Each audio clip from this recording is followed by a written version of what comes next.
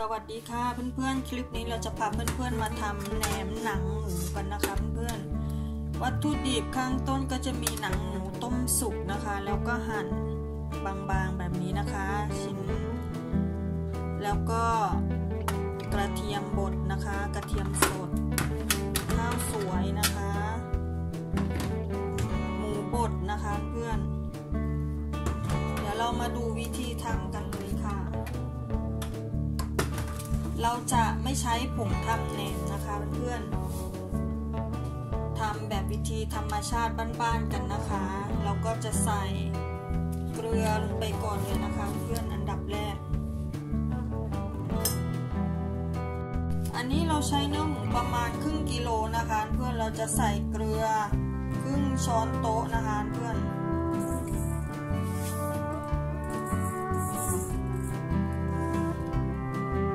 ด้วยผงปรุงรสนะคะ อันนี้ไม่เน้นนะคะ ใครชอบก็ใส่ ใครไม่ชอบไม่ต้องใส่นะคะเพื่อน ตามด้วยกระเทียมบดนะคะ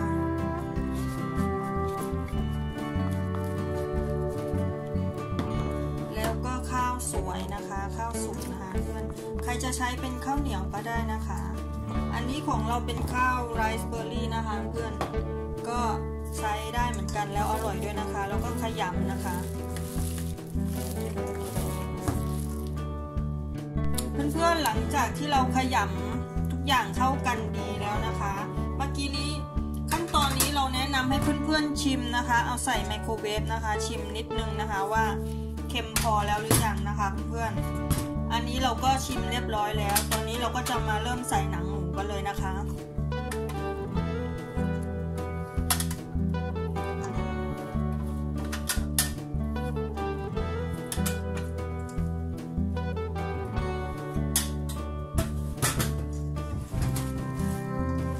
จะขยำนะคะเพื่อน แล้วเดี๋ยวค่อยกลับมาดูกันนะคะเพื่อน หลังจากที่เราขยำเสร็จแล้วนะคะเพื่อน เนื้อหมูก็จะเหนียวเข้ากันดีแบบนี้เลยนะคะ เพื่อนต้องขยำนะคะ นี่คือเทคนิคอย่างหนึ่งนะคะ เวลาทำแหนมนะคะ เพื่อนเดี๋ยวเรามาแพ็คกันเลยค่ะ นี่นะคะเพื่อนเราจะแนะนำวิธีการห่อให้เพื่อนๆนะคะ แบบไม่ต้องใช้ถุงร้อนนะคะเพื่อนสำหรับคนที่อยู่ต่างแดนหรือว่าเพื่อนๆที่อยู่เมืองไทยแล้วก็ไม่มีถุงร้อนนะคะอุปเออสามารถใช้อุปกรณ์ในบ้านที่เรามีก็ได้นะคะเพื่อน ก็คือแรปพลาสติกนะคะเพื่อนแล้วเดี๋ยวเราวันนี้เราจะบอกเทคนิค ห่อยังไงไม่ให้มีฟองอากาศนะคะเพื่อนห่อยังไงให้เนียนนี่นะคะ เราจะทำให้เพื่อนๆดูนะคะ เราจะกดลงไปก่อนนะคะ กดไล่อากาศลงไปก่อนนะคะ ให้ด้านหน้านี้เนี่ยเห็นไหมคะ จะมีช่องช่องอากาศไม่เนียนนะคะเพื่อนเดี๋ยวเราจะต้องกดให้เขาเนียนนะคะ เพื่อนๆเคยไหมคะบางทีห่อแล้วเขาไม่เนียนเนาะ เราต้องไล่ลมอากาศให้หมดนะคะเพื่อนเวลาห่อกดลงไปให้ ให้เนียนๆก่อนนะคะข้างหน้านะคะ ให้เนื้อหมูให้เนื้อหมูเขาติดกันเนียนๆก่อนนะคะเพื่อนนี่นะคะเราต้องบีบไล่อากาศให้เขา ตรงที่เขามีช่องว่างๆนะคะ ตรง ด้านหน้านี้นะคะ ต้องให้เนียนแบบนี้เลยนะคะเพื่อน เวลาทำทำแหนมเนาะเวลาเราแพ็คแหนมเนี่ยต้องให้เนียนต้องให้เนียนแบบนี้เลยนะคะเพื่อน ให้ไม่มีฟองอากาศ เราก็จะกดกดไล่ไล่อากาศออกนะกดกดไล่ไล่อากาศออก นี่นะคะเพื่อนเนียนแล้ว จะเนียนแบบนี้เลยนะคะเพื่อนจะไม่มีช่องช่องอากาศ แล้วเราก็จะลูดลูดอากาศออกนะคะเพื่อนแล้วก็จะหมุนหมุนแล้วก็แพ็คไว้นะคะ คืออันนี้คือแหนมตุ้มแต่คือว่าเราไม่มีถุงร้อนเนาะเราก็พัฒนาเอานะคะเพื่อนใช้เป็นพลาสติกแรปนะคะโอเคนะคะ เราก็จะหมุนไว้อย่างนี้นะคะ ได้หนึ่งลูกแล้วนะคะเพื่อนนี่นะคะ จะเนียนแบบนี้เลยไม่มีช่องอากาศนะคะเพื่อน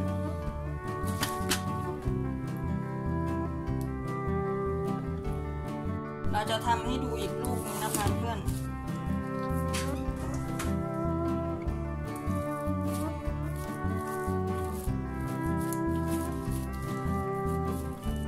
เวลาทำแหนมอะค่ะเพื่อนขั้นตอน สำคัญคือเราต้องไล่อากาศออกให้หมดด้วยนะคะในถุงอะ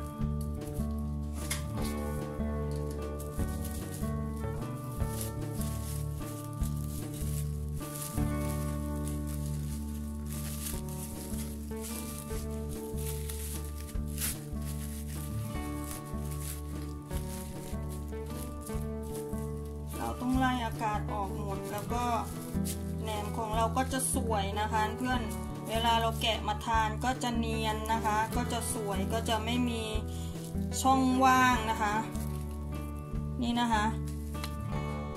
นี่นะคะจะไม่มีช่องว่างระหว่างหนัง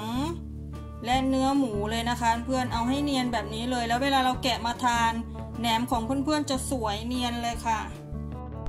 นี่นะคะเพื่อนๆเราห่อเสร็จแล้วเห็นไหมคะ เพื่อนๆเห็นไหมคะจะเนียน จะเนียนจะไม่มีฟองอากาศอยู่ในนี้เลยนะคะ จะไม่มีช่องว่างระหว่างเนื้อหมูแล้วก็หนังหมูนะคะ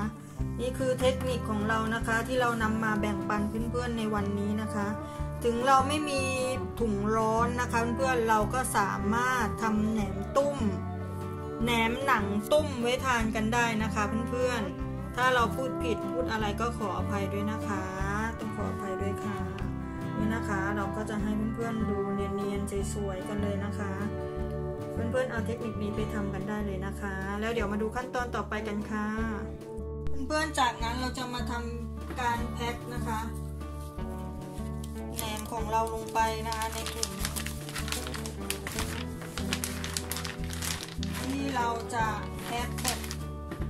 ดูดอากาศออกหมดทีนะคะเพื่อน เราจะเรียงลงไปให้หมดนี้เลยนะคะเดี๋ยวค่อยกลับมาดูกันนะคะ ตอนนี้เราก็เรียงแหนมของเราลงไปหมดแล้วใช่ไหมคะ เราก็จะทำการแพ็คนะคะเพื่อนด้วยเครื่องแพ็คนะคะ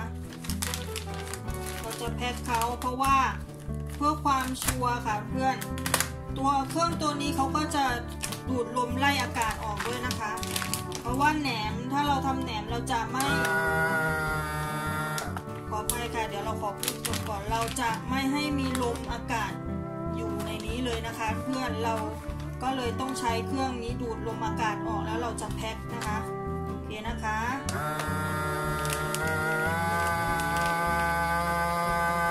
นี่นะคะเพื่อนเราก็แพ็คเสร็จแล้วนะคะ แบบนี้นะคะสดสะอาดนะคะเพื่อนไม่ต้องกลัวอากาศเข้านะคะ แล้วก็เอาวางไว้ในถาดแบบนี้นะคะ แล้วก็วางไว้ ยังไม่ต้องแช่ตู้เย็นนะคะเพื่อน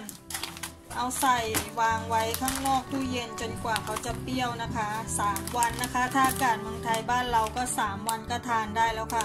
ถ้าอยู่ต่างแดนก็ต้องรอหน่อยนะคะ ถ้าเกิดอากาศเย็นนะคะเพื่อนๆโอเคนะคะ คลิปนี้เราก็จะลาไปก่อนนะคะเพื่อนๆ หวังว่าจะเป็นประโยชน์กับเพื่อนๆ มากๆเลยนะคะ แหนมหนังหมูนะคะ แหนมตุ้มหนังหมูนะคะ เพื่อนๆ เอาไปทำทานกันนะคะ อร่อยอร่อยฝากกดไลค์ กดแชร์ กดติดตาม กด subscribe กดกระดิ่ง เพื่อที่จะไม่พลาดคลิปของเอตัน channel ด้วยนะคะ แล้วเจอกันใหม่คลิปหน้าค่ะ สวัสดีค่ะ